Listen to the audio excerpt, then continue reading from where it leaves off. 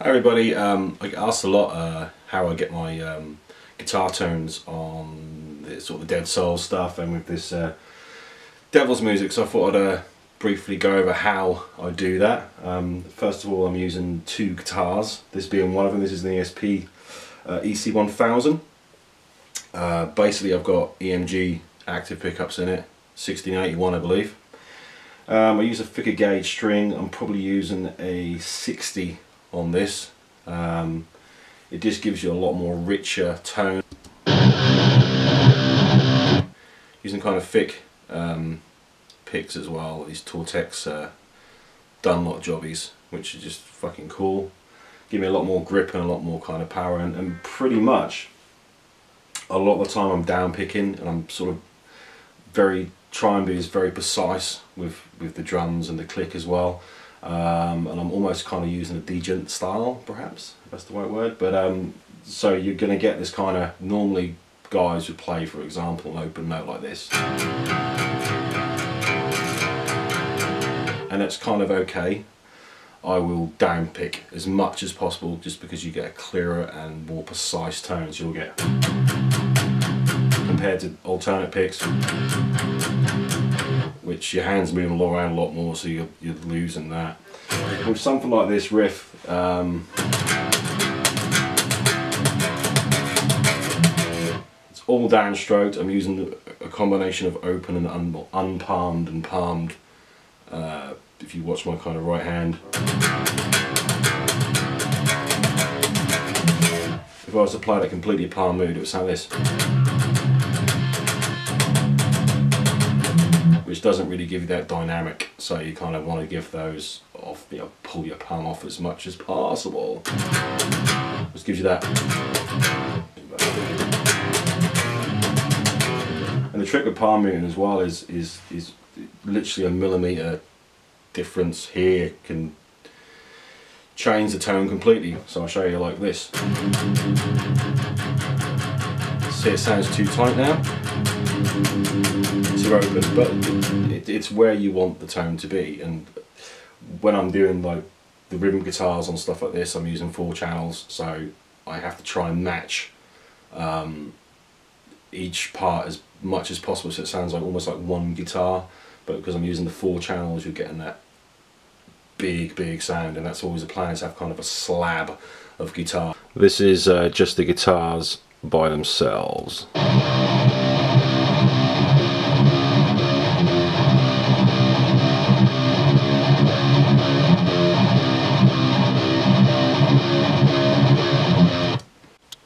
Basically using a product by a company called Toontrack. Uh, it's called EzMix 2.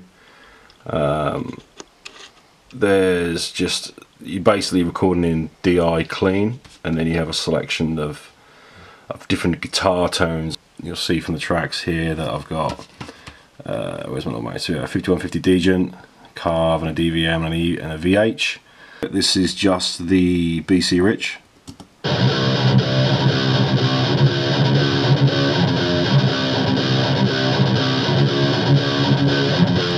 It's got um, a lot more of a kind of a high-end kind of harsher tone I guess. And then this is the ESP which is a slightly more warmer uh, thicker sound.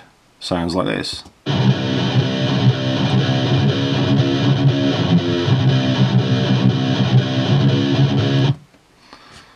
So together you get this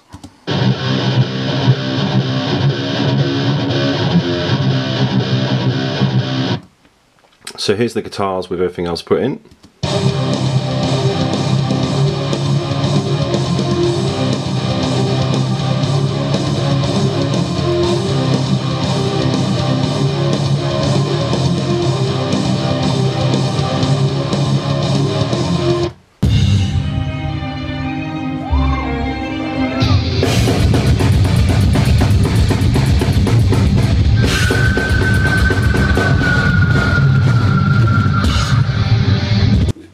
Song Love Kali that I did with Devilment, um, it's a prime example of of a couple of styles that I use. I'll, I'll kind of play like the main kind of riff, uh, the intro riff or whatever you want to call it, for the song, which goes like this.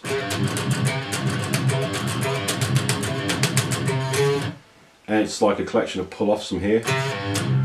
But then that's palm muted, so yeah. So it'd be like if I was to play that alternate pick, it was like this. Here it's not so precise, but all downstroke is much precise, much more precise.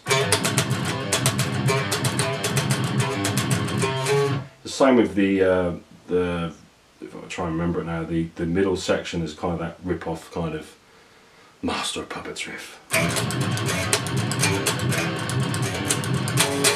Something like that, I think. But obviously uh, that's alternate pick, so it has more of a looser feel, but I apply it downstrokes.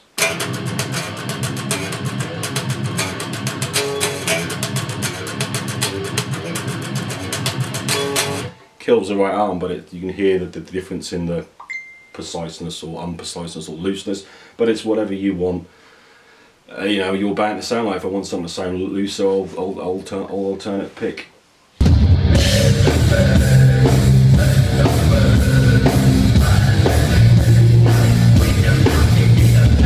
The other riff in that song, the main kind of riff that everyone kind of remembers or whatever. All open. No palm mutes. Till this part.